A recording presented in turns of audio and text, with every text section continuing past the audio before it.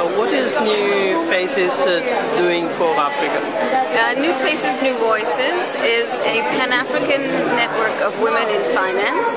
Um, it was an initiative that was started by Graça Machel uh, two years ago, essentially to promote women's access to finance, to build the skills and capacity of women as entrepreneurs and as um, uh, actors in the financial services industry, and to promote more women into senior positions in the financial industry.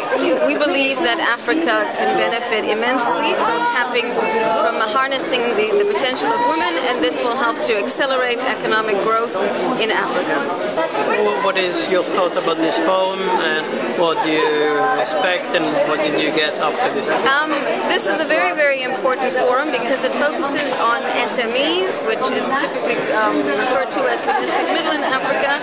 We believe that women make a, a, a very significant contribution to the SME sector.